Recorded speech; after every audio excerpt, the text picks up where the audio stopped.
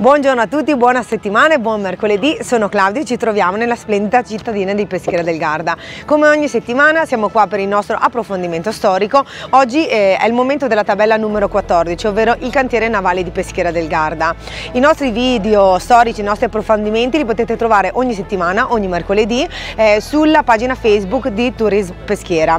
Volevo ricordarvi un pochino i nostri servizi. Abbiamo eh, il nostro servizio di audioguide disponibile in quattro lingue, italiano, tedesco, inglese e l'immancabile immancabile dialetto veneto, eh, potete noleggiarle all'infopoint di Peschiera del Garda in piazzale Bettelloni e autonomamente eh, girare il nostro centro storico ed ascoltare eh, tutta la nostra storia che è veramente tanta, io ci tengo sempre a sottolinearlo. Vi sarà data in dotazione questa mappa con la quale potrete seguire l'itinerario numerico e scoprire i luoghi di maggiore interesse di Peschiera del Garda.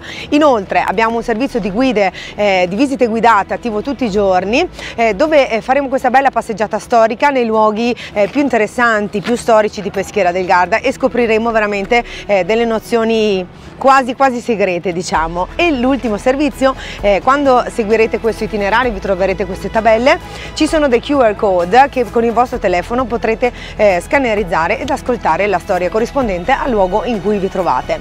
Comunque oggi siamo qua al cantiere navale. Innanzitutto volevo far vedere un momento la vista splendida che ci circonda ogni giorno qua sul, sul lago di Garda. Da qua possiamo vedere la tabella in questa tabella storica possiamo osservare il cantiere navale e le foto eh, della motonave Zanardelli che ancora oggi è attiva come servizio di navigarda. Eh, volevo ricordare che il cantiere navale è stato un fattore di sviluppo economico molto importante per il nostro paese, ovvero per Peschiera del Garda. In questa foto abbiamo la vista dal molo originale austriaco. Di fronte al molo c'è l'altro pennello eh, di attracco civile chiamato Unità d'Italia. Il pennello cos'è? È la gettata stretta e lunga che nei porti è perpendicolare al molo o alla banchina, ovvero ne è un prolungamento. In questa foto invece possiamo ammirare il piroscafo che lascia il molo chiamato Unità d'Italia. La demolizione della cortina Tognon è stata effettuata. Inizia l'evoluzione del piazzale del nuovo porto e dell'installazione del monumento.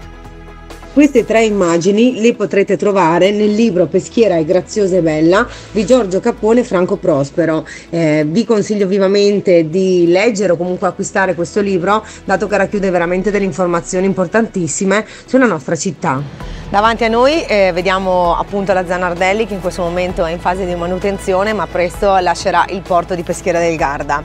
Volevo ricordare eh, che il cantiere navale costituì un importante fattore di sviluppo economico per il nostro paese, Peschiera del Garda. E anche per oggi è tutto, vi aspetto settimana prossima, mercoledì, eh, per la nostra pillola storica. Vi aspetto a Peschiera del Garda, venite a visitarci perché è splendida. Vi ricordo che i nostri video li trovate sulla pagina Facebook eh, Tourism Peschiera, quindi vi auguro una buona giornata e una buona settimana. Ciao!